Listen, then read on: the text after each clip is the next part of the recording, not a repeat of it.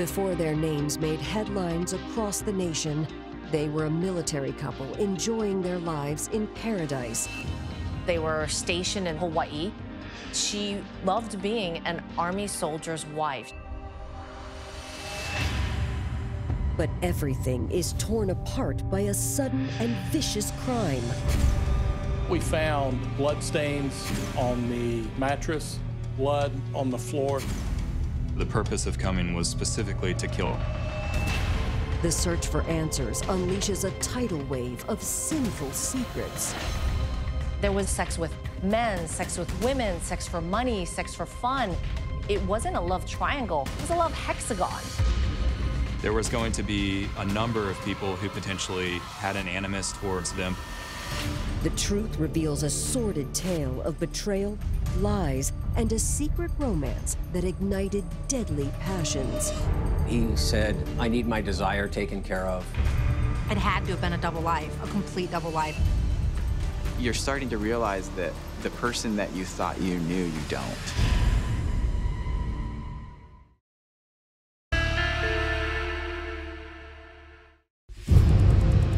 November 15th, 2014, Honolulu, Hawaii. It's just after 6 a.m. when 911 dispatchers receive a distressed phone call from the residence of Army medic Michael Walker and his wife, Catherine. Michael Walker is the individual who called 911. He says that he sees his wife on the floor with heavy blood pooling all over her body. Tell me exactly what happened. I just got home from work. And then I came upstairs. I saw a lot of blood on the bed, and then I saw my wife on the floor. And then I called you guys. Do you know what's happening? I, I don't. Is she breathing? No, I took no pulse. Her skin is cold. There's a lot of blood on the floor, and there's a knife. Within minutes, first responders arrive at the Walkers' home. But as they approach Catherine's body, it's clear the 38 year old is beyond saving. Kathy had stab wounds that were very significant, and it was apparent that she was absolutely deceased. Michael Walker was in quite of a state of panic at that moment. Any loss of life is horrific and sad, and that does put a weight on investigators where you do want to figure out who was responsible for such an egregious crime.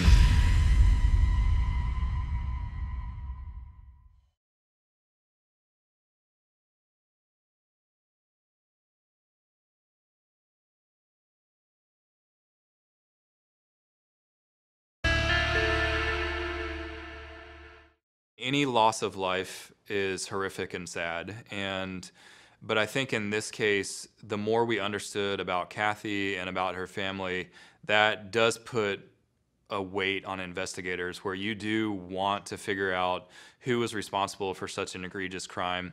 Um, and so as far as anxiety as an investigator, I remember being up at two, three o'clock in the morning by myself at the office, writing these warrants, going through just numerous text messages and emails trying to figure out what happened because you're constantly worried that evidence is going to expire if you don't find probable cause to say get text message content from Verizon, then Verizon's going to write over those messages, and then those messages are gone forever. You'll never recover them.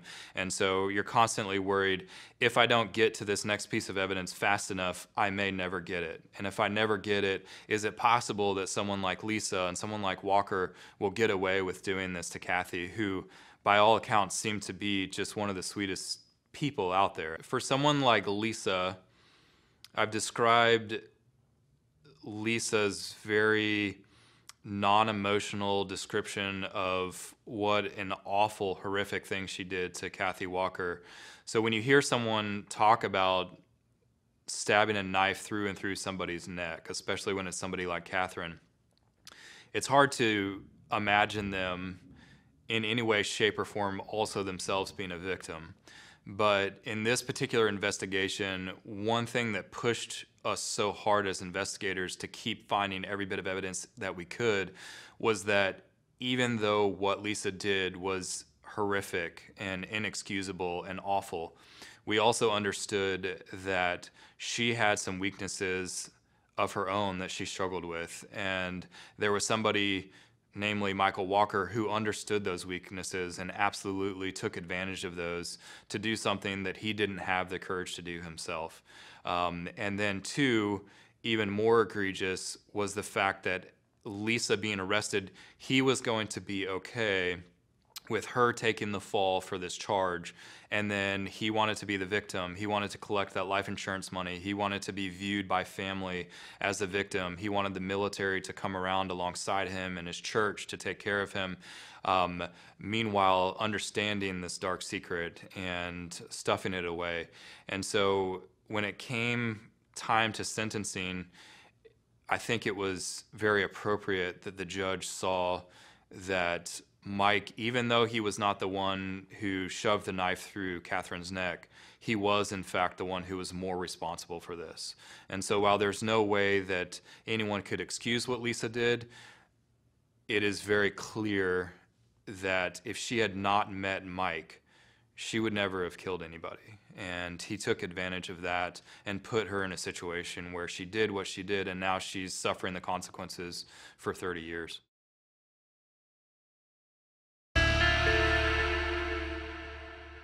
As this stuff is unfolding with Mike and the information, more information is coming out, and maybe not necessarily even officially, but as rumor mills are going and as information is being officially released, um, it is you're you're starting to realize that the person that you thought you knew you don't, and I guess to some extent we all have that, right? We all live a double life, and we all have things that we don't know about each other, but with Mike, it was the complete opposite of what I knew about where his standards and his morals were. And I know that that can be a slippery thing. Maybe it started with him doing something bad and going into more bad things and becoming this desensitized monster. But there was a, you go through those cycles again because here I am trying to support Mike as a spouse who's lost his, his wife and as a fellow military member who's going through these trial and, and, and feeling alone and doing all those things and knowing that he's going to have to go through a lot of stuff with his command and, and, and whatnot. You've got, I've got that, and, but then I'm starting to see that he's the guy who caused all this. He's the reason that this is going on. And so now I'm starting to feel going through those cycles of feeling anger and resentment. And, you know, at first it's shock, like, no way. There's no way. Why would he do that? And then it's like, why would he do that? You know? What a piece of junk. When I first found out that Kathy was killed and then shortly later learned that she had been stabbed to death, I was, it was horrific. To think that she, and I've never, obviously I've never been stabbed really, and so I don't know how it feels like, but apparently it's, it's a brutal way to get killed and it's, you're not, you don't die instantly. And so to think that she went through that and that she had to be stabbed to death. Um, there was a little bit of me that thought like, well, why did she get, why did she deserve to die that way? You know, she didn't. Luckily, we, most of us who knew Kathy had our faith to, to kind of lean back on during that time. And that was kind of the overarching thought was, you know what? Kathy was such an amazing woman that it was her time to go you know and, and that's why these bad bad things happen to good people right? And so we we kind of rested our laurels or whatever you want to call it. We we put our our trust in knowing like yes she died a brutal death and that it's horrible. Like we are baffled by that. But we know that she did the things that she was supposed to while she was on earth. She left a legacy of service and kindness and love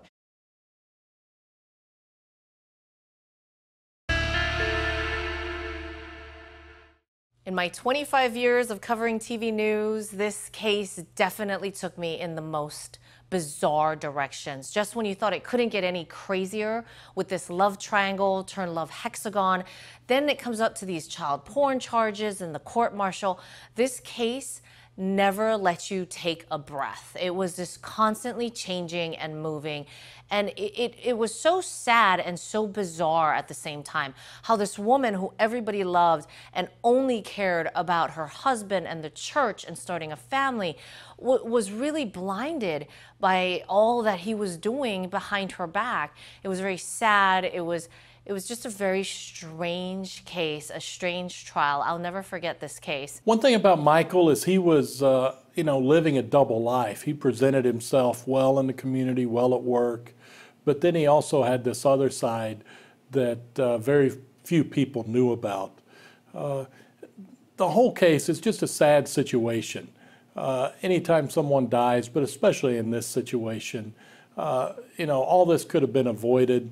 Uh, for whatever reason, Michael chose, I guess, the easy way out. Uh, to uh, he thought that the easiest way to, to get out of uh, his marriage was to kill his wife, uh, and it's just very unfortunate. Uh, you know, 30 and 35 years between Lisa and Michael is a long time to serve in prison. I think justice was done in this case. Uh, but you know, we still feel sorry, and our and our thoughts and prayers goes out to the family of Kathy Walker because that's a, a hole and a void that can never be filled. This whole situation has solidified in my mind that like you never know what people are capable of. And you can either choose to live in such a way that you're like paranoid about all that, or you can live like Kathy lived and live to serve despite what people are capable of.